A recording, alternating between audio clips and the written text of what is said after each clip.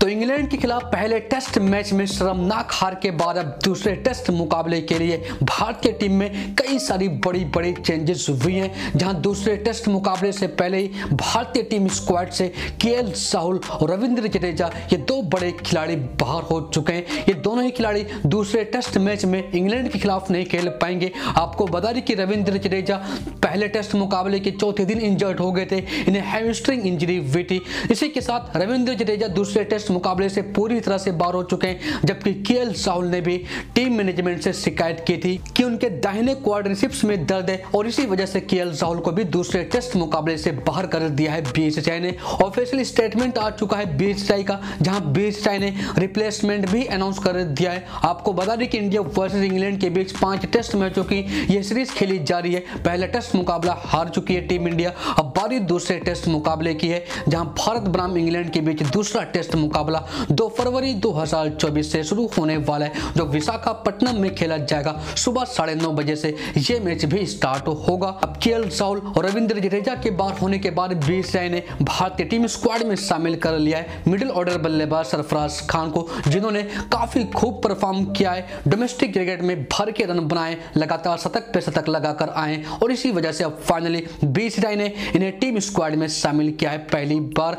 तो सरफराज खान को टीम में शामिल किया गया है। इसके साथ ही साथ भारतीय टेस्ट स्क्वाड में Washington Sundar spinner all rounder को भी शामिल किया गया है, जबकि टीम में left arm spinner Saurabh Kumar को भी शामिल किया है, जो कि इनका भी परफॉर्मेंस डोमेस्टिक क्रिकेट में काफ़ी शानदार रहा है। तो अब दूसरे टेस्ट मुकाबले के लिए भारतीय टीम स्क्वाड में इतनी सारी चेंजेस हो गई हैं तो यहाँ पर सवाल तो सबसे बड़ा यही है, भारतीय फैंस के मन में कि आखिर क्या होगी भारतीय टीम की प्लेइंग इलेवन जहाँ टीम स्क्वाड में विराट कोहली भी नहीं है दूसरे टेस्ट मुकाबले के लिए, और रजत पाटीदार को टीम में शामिल किया गया था पहले और दूसरे टेस्ट मुकाबले के लिए। तो क्या होगी प्लेइंग इलेवन वो कौन से ग्यारह खिलाड़ी खेलेंगे भारतीय टीम की तरफ़ से? दूसरे टेस्ट मैच में इंग्लैंड के खिलाफ। आगे पूरे विस्तार से आपको बताएँगे। लेकिन चलिए बात करते हैं कि आखिर क्या है टीम इंडिया का नया स्क्वाड दूसरे टेस्ट मैच के लिए। तो बीरसाई ने टीम इंडिया का स्क्वाड जारी कर दिया है दूसरे टेस्ट मुकाबले के लिए, जो कुछ इस तरह से है। नंबर एक पर रोहित शर्मा कप्तान नंबर दो शुभमन गिल नंबर तीन एस जायसवाल नंबर चार सिराज अय्यर नंबर पाँच K S Bharat wicket. Keeper batsman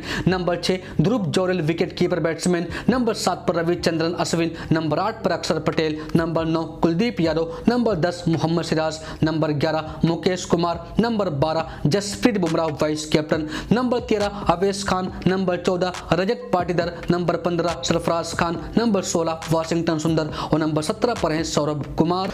तो ये रहा टीम इंडिया का 17 मेंबर्स टीम स्क्वाड दूसरे टेस्ट मैच के लिए। अब बात करें टीम इंडिया की प्लेइंग 11 दूसरे टेस्ट मुकाबले के लिए इंग्लैंड के खिलाफ। तो उससे पहले इस वीडियो का ऑफिशियल स्पॉन्सर है क्राउन 11 ऐप जहाँ पर टीम बनाना, खेलना, जीतना बेहद ही आसान है, क्योंकि यहाँ पर काफ़ी ज़्यादा कम कंपटीशन है, काफ़ी कम लोग खेलते हैं। तो अगर आप अपनी टीम बनाएँगे इस ऐप में तो कन्फर्म है कि जीत जाएँगे। दूसरे फेंटेसी ऐप में अगर आप हार हार के थक चुके हैं तो इस ऐप में आइए, अपनी टीम बनाइए और आप जीत सकते हैं। अब इस ऐप में कई अलग अलग ऑफ़र हैं, जिसमें से अगर किसी भी मैच की, किसी भी कॉन्टेस्ट की एंट्री फ़ीस उनतालीस रुपए तो आप चाहे तो बिल्कुल फ्री में भी खेल सकते हैं, या फिर चाहे तो आप पैसे भी ऐड करके खेल सकते हैं। फ्री में खेलने के लिए आपको काफ़ी फ्रेंड्स को इन्वाइट करने होंगे और आप बिल्कुल मुफ़्त में खेल सकते हैं। तो फैंटेसी क्रिकेट के अलावा इस ऐप में आप कलर्स गेम भी खेल सकते हैं, जिसमें आप लाखों करोड़ों भी जीत सकते हैं। साथ ही साथ इस ऐप में आप क्रिकेट के शॉर्ट्स वीडियोस भी देख सकते हैं। तो है कमाल का ऐप अभी फटाफट क्राउन इलेवन ऐप डाउनलोड करिए। लिंक डिस्क्रिप्शन और कमेंट बॉक्स में पिन कर दिया है। बढ़ते हैं वीडियो की ओर। तो बात करते हैं दूसरे टेस्ट मुकाबले के लिए टीम इंडिया की प्लेइंग इलेवन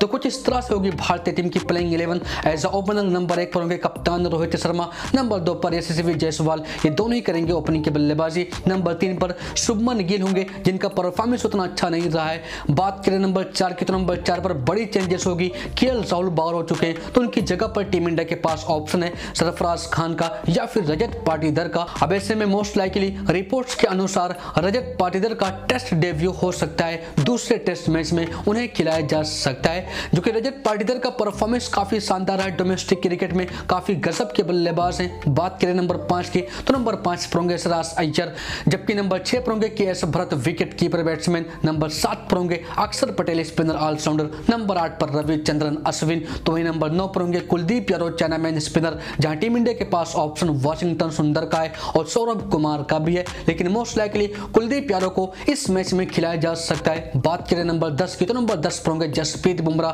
नंबर ग्यारह पर मोहम्मद सिराज। तो यदि भारतीय टीम की प्लेइंग इलेवन दूसरे टेस्ट मैच के लिए इंग्लैंड के खिलाफ। इसको लेकर आप क्या को सोचते हैं? कमेंट बॉक्स में अपनी प्रतिक्रिया ज़रूर दीजिए।